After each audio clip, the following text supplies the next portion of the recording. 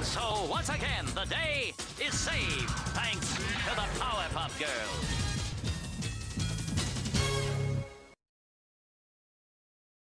Super day.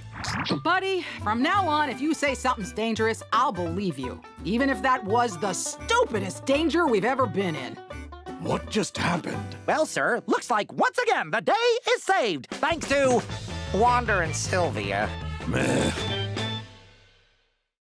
Now tremble in eggs